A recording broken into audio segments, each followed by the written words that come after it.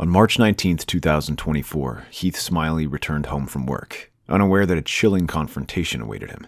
Moments after entering the house, a gunshot rang out as his 15 year old stepdaughter Carly lay in wait.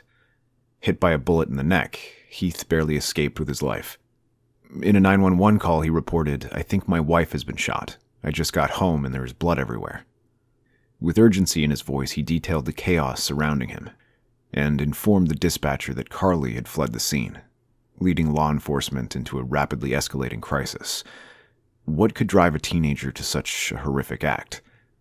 Despite what should have been clear cut evidence, surveillance footage, eyewitness accounts, and confessions, this case only proved one thing things were not as they seemed.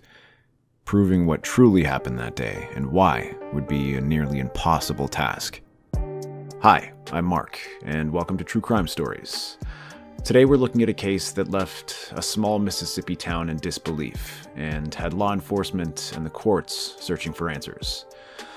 The investigation into Carly Gregg's actions revealed family secrets, mental health issues, and an unexpected twist. This is the story of the Carly Gregg case. Let's dive in.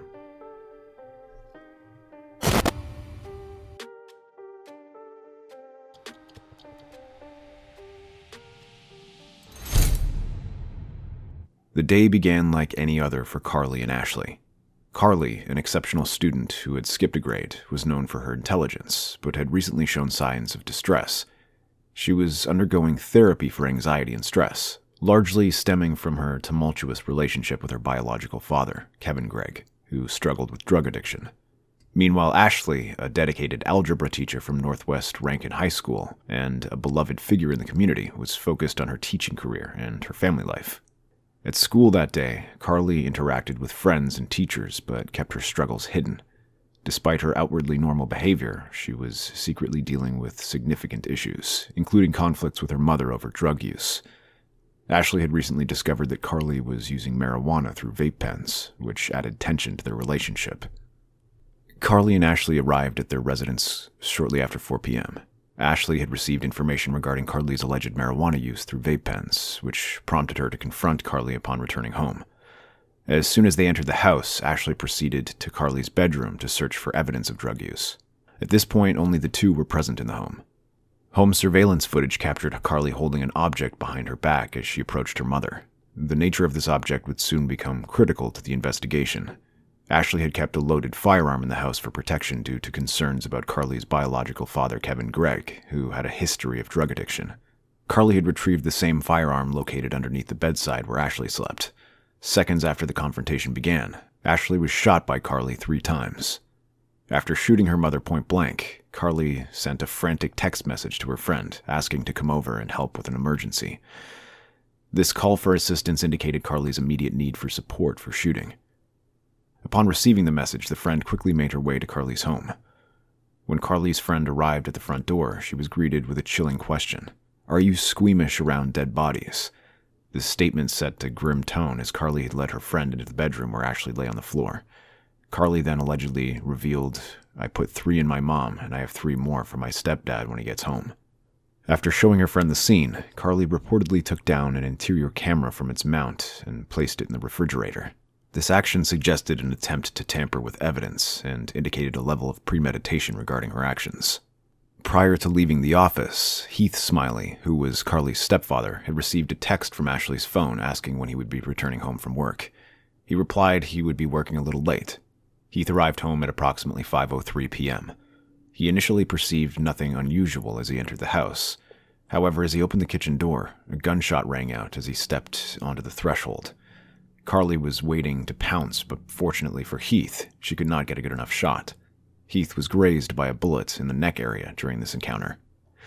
He subsequently attempted to follow Carly as she fled outside. Heath Smylie placed a frantic 911 call shortly after being shot by his own stepdaughter. In the call, he reported, I think my wife has been shot. I just got home and there is blood everywhere. His voice was urgent as he provided details about the situation. He described being shot in the neck and indicated that Carly had fled the scene. Heath stated, She shot me in the head, and informed the dispatcher that Carly had a firearm, which he believed was left on the kitchen counter. He provided a description of Carly and her direction of flight, saying she ran towards Magnolia Place. This information was critical for law enforcement as they began their response. Deputies from the Rankin County Sheriff's Office arrived on the scene within minutes of the 911 call. Upon arrival, they found Heath outside the front door, visibly injured and in need of medical attention. Officers quickly assessed his condition and called for medical assistance while securing the area. As deputies entered the home, they discovered Ashley lying on the floor of her bedroom. The scene was chaotic. Evidence of a violent confrontation was immediately apparent. The deputies noted multiple gunshot wounds on Ashley's body, confirming that she had been shot at close range. This discovery marked a significant turning point in the investigation. The initial assessment by law enforcement included securing the crime scene and gathering evidence. They noted the position of Ashley's body and collected any potential ballistics evidence from both inside and outside the home. The deputies also examined surveillance footage from both inside and outside the residence to piece together a timeline of events leading up to the shooting. Heath provided a detailed account of what he had encountered when he returned home, which would later serve as crucial testimony in court. His statements about Carly's actions immediately before and after the shooting were vital for understanding her state of mind. As part of their investigation, deputies also began a search for Carly, utilizing outdoor surveillance footage to track her movements after she fled. A Mississippi Highway Patrol helicopter was deployed to assist in locating her. Carly was apprehended approximately 30 minutes after the shooting without further incident. She was taken into custody and charged with multiple offenses, including murder and attempted murder, based on evidence gathered at the scene and Heath's statements. The swift response by law enforcement and their methodical approach to gathering evidence laid the groundwork for what would become a complex legal case involving serious charges against Carly Gregg. After the shooting incident from March 19, 2024, Carly Gregg was taken into custody shortly after law enforcement arrived at the scene. She was held at Rankin County Jail in Brandon, Mississippi, where she remained pending trial.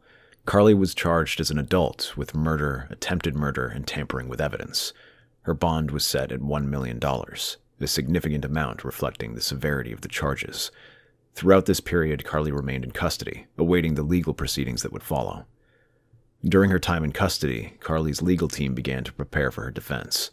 The prosecution's case was based on the evidence collected at the scene, including eyewitness accounts and forensic analysis.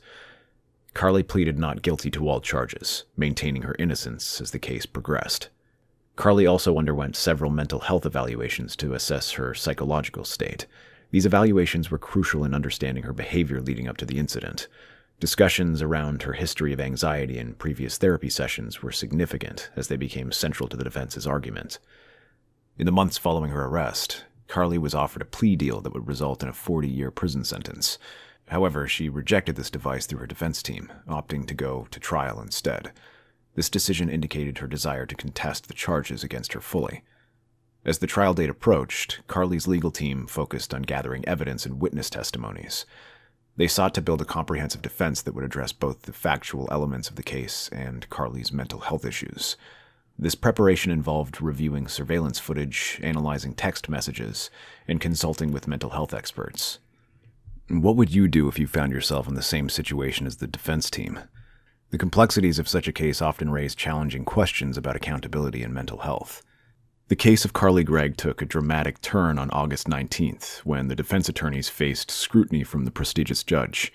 While Carly had been deemed competent to stand trial, questions rose about her mental state at the time of the alleged crime. In a courtroom drama that received national attention, Judge Dewey Arthur questioned the defense's tactics regarding a crucial mental health evaluation report. The judge expressed concern about the report's delayed submission, suggesting it might have been a strategic maneuver to gain an advantage on the trial. The defense attorneys, Bridget Todd and Kevin Camp, maintained the delay was unintentional. They emphasized the complexity of obtaining the report and assured the court that they would share it with the prosecution as soon as it was finalized. Judge Arthur, however, remained skeptical. He warned that withholding the report could be seen as a deliberate attempt to manipulate the trial proceedings. He stressed the importance of transparency and fairness in the legal process. As the case progressed, the focus shifted on the mental health evaluations conducted on Carly. Dr. Amanda Gugliano, the psychologist who assessed Carly's competency, testified that medication changes in the months leading up to the incident could have influenced her mental state. However, Dr. Gugliano acknowledged her expertise did not extend to the potential side effects or impact of these medications. The defense team, recognizing the limitations of Dr. Gugliano's evaluation, contracted another doctor, Dr. Mark Webb, to conduct a comprehensive mental health assessment. The defense intended to present Dr. Webb's finding as evidence in court. The case of Carly Gregg continued as the date of the trial approached. On September 10th, six days before the trial, a motion was put forward in front of the judge by the defense in an attempt to exclude a crucial piece of evidence a urine test administered upon her admission to the detention center. The defense argued that the test was conducted without proper authorization and should be deemed inadmissible. Prosecutors countered that this very test was necessary for safety purposes and that Gregg had voluntarily admitted to using marijuana. They argued that the evidence of marijuana use was relevant to Gregg's potential mental state at the time of the crime. Judge Dewey Arthur, after careful consideration, ruled in favor of the prosecution, denying the defense's motion to surpass the drug test. The judge found the search to be reasonable based on the circumstances and the potential risks involved. In a separate development, the judge issued a gag order prohibiting Gregg's attorneys from speaking to the media about the case, this decision came in response to the allegations that the defense had violated procedural rules by commenting on the facts of the case. The first day of the Carly Gregg murder trial unfolded in a somber courtroom atmosphere. Prosecution presented evidence, including a 911 call recording and body cam footage of the day of the shooting. Carly Gregg, now 15, was accused of murdering her mother, Ashley Smylie, and attempting to murder her stepfather, Heath Smylie, on March 9th. The trial began with the testimony of Rankin County dispatcher Kevin Collins, who played the 911 call made by Heath Smylie. In the recording, Heath could be heard sounding hysterical and frantic, describing the shooting and the tragic discovery of his wife's body. The prosecution then presented body cam footage from Rankin County Patrol Deputy Hunter Lewis, who arrived at the scene.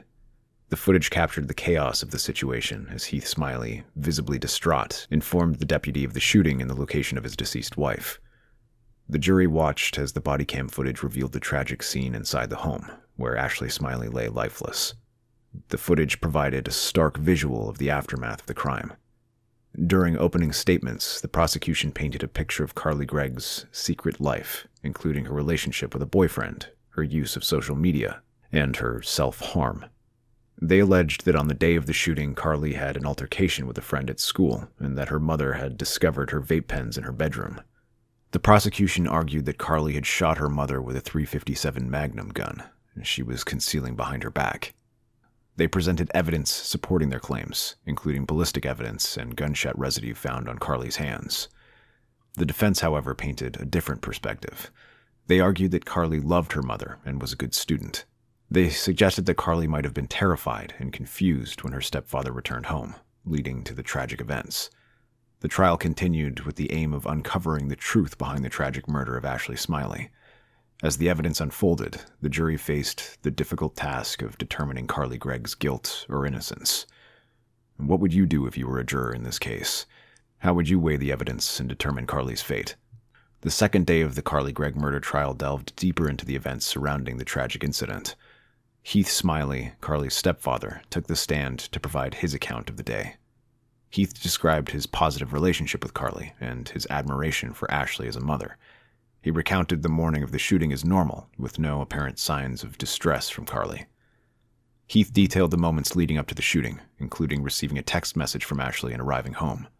He described the chaos of the situation when he opened the door and was confronted with the gun.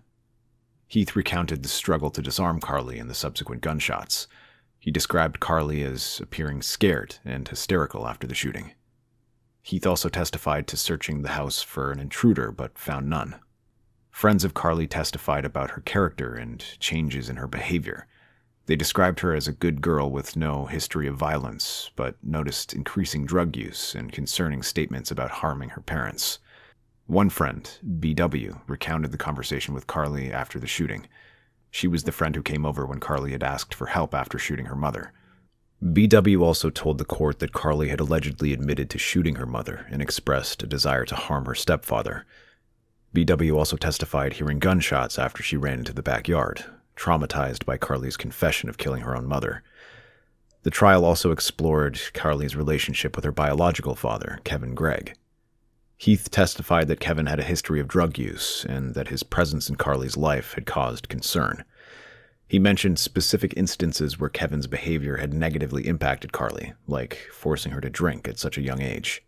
The defense used the biological father as a means to divert the attention from the murders being a deliberate act and instead a haphazard mishap due to Carly's volatile mental health. Defense also continued to present their case, emphasizing Carly's mental health issues and her love of her mother.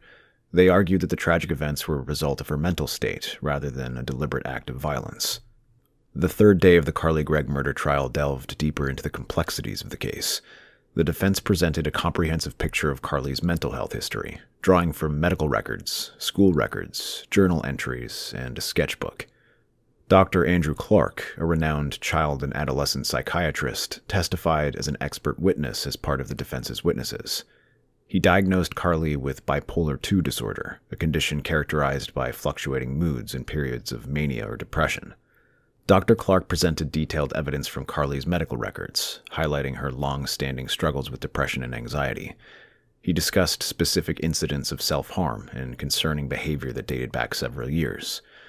The analysis of Carly's journal entries and sketchbook revealed a darker side of her mental state. Dr. Clark read aloud excerpts that expressed feelings of despair, hopelessness, and aggression. The entries provided insights into Carly's inner turmoil and potential struggles with intrusive thoughts. The defense argued that Carly's mental health issues, combined with the stressors in her life, created a perfect storm that led to her violent actions. They emphasized her difficult childhood, including the loss of a sister and her parents' divorce. The prosecution, however, challenged Dr. Andrew Clark's assessment. They questioned the reliability of Carly's self reported symptoms and argued that she was capable of understanding the difference between right and wrong at the time of the crimes. Carly's relationship with her biological father was once again at hand on the third day, too. Heath Smylie, Carly's stepfather, had previously testified about Kevin's history of drug use and its negative impact on Carly. The defense presented evidence suggesting that Carly's relationship with Kevin was strained and she experienced emotional trauma as a result of his behavior. This information further supported the argument that Carly's mental health was influenced by her family dynamics. As the trial progressed, the jury faced the complex task of weighing the evidence and determining Carly Gregg's guilt or innocence. Nonetheless, the details provided on the third day provided a more comprehensive understanding of Carly's mental health struggles and the potential impact they had on her actions. The fourth day of the Carly Gregg murder trial featured testimonies from rebuttal witnesses called by the state. These witnesses aimed to counter the defense's expert testimony regarding Carly's mental state. First up was Olivia Leber, a psychiatric mental health nurse practitioner she first met with Carly in January 2024, conducting a comprehensive evaluation. She testified that during her initial assessment and throughout the sessions she had with Carly, Carly explicitly denied hearing voices. It was also Leber who had prescribed medication changes to address Carly's depression and anxiety. As per Leber's testimony, despite the medication changes, Carly did not report any hallucinations or delusions during subsequent sessions. The next witness to come in front of the jury was Rebecca Kirk, a licensed professional counselor. She had met with Carly for counseling on nine different occasions prior to the tragic events of the 19th of March. She testified that throughout their sessions, Carly did not express any suicidal or homicidal tendencies or thoughts. She also emphasized that depression and anxiety were common among her clients, suggesting that Carly's symptoms were not unusual. Last to testify against the jury on the fourth day was Dr. Jason Pickett, a forensic psychiatrist. He had been in charge of assessing Carly's mental state against the legal criteria for insanity in Mississippi. He analyzed various types of evidence, including Carly's journal entries, statements, and circumstances surrounding the case. Based on his analysis, Dr. Pickett told the court that Carly understood the nature and wrongfulness of her actions at the time of the incident. Another analysis of Dr. Pickett, which he incurred after analyzing both Carly's writings and statements, was that some of them were theatrical and others were concerning. It was Dr. Pickett who further emphasized in front of the court that the low dosage of Lexapro, which Carly had been switched to recently, could not be the reason for Carly Gregg to commit those alleged atrocities she did on the fateful day of March 19, 2024. Hence, the state's expert witnesses provided accounts that differed significantly from the testimonies of the defense's expert, Dr. Andrew Clark. Dr. Clark had previously testified that Carly was experiencing a mental health crisis at the time of the shooting. He cited her struggles with mood swings, eating disorders, self harm, and hearing voices as evidence of her deteriorating mental state. The morning of the fifth day of Carly Gregg's murder trial marked a significant moment in the case. The jury, having deliberated throughout the previous day, was set to deliver their verdict. As the courtroom fell silent, the judge announced the jury's decision. In a solemn tone, he declared Carly Gregg guilty of all three charges murder, attempted murder, and tampering with evidence. Following the verdict, the jury turned their attention to the sentencing phase of the trial. They would now determine the appropriate punishment for Carly Gregg based on the evidence presented and the severity of her crimes. The judge, considering the severity of the crimes and the evidence presented, sentenced Carly Gregg to life in prison without parole for the murder of her mother and attempted murder of her stepfather. Additionally, Gregg was sentenced to 10 years in prison for tampering with evidence. However, the judge ruled that that sentence would run concurrently, meaning that Carly Gregg would serve a total to life in prison. The courtroom was filled with emotions as the sentence was announced. Carly Gregg, overcome with grief and despair, broke down in tears. Her family members, including Heath Smylie, Ashley Smylie's parents, and other relatives, also expressed their emotions. Before the jury could deliver their final verdict on the sentencing, the prosecution and defense presented their final arguments. Prosecutor Catherine Newman argued that Carly Gregg showed no remorse for her actions. Newman also emphasized that Carly understood the nature and consequences of her actions. She also presented evidence to support the claim that Gregg acted with premeditation and intent. On the other hand, the defense attorneys Bridget Todd and Kevin Camp pleaded for leniency, highlighting Gregg's mental health struggles. They also emphasized Gregg's love for her mother and her positive relationship with her stepfather, they also argued that Carly's actions were influenced by her mental health issues and that she may not have fully understand the consequences of her actions. The jury, composed of diverse members, deliberated for two long hours before reaching a unanimous verdict. Carly Gregg was found guilty on all three charges murder, attempted murder, and tampering with evidence. Carly Gregg was sentenced to life in prison without parole for killing her mother, attempting to kill her stepfather, and tampering with evidence. Both judge and jury were on the same page as they found her guilty of all three offenses and agreed upon the decided sentence. The judge did not show a slight bit of leniency, and he added the 10 concurrent years for evidence tampering. As for Carly, she's not done yet. Just a couple of weeks after the outcome of the initial trial, she's already seeking a new trial. Should she have taken the 40 years offered as a plea, or did she do the right thing to go through the trial? What do you think about her seeking a new trial? Let us know in the comments below. That was the case of Carly Gregg. Thank you once again for joining me. For now, I'm Mark, this is True Crime Stories, and I'll see you in the next one.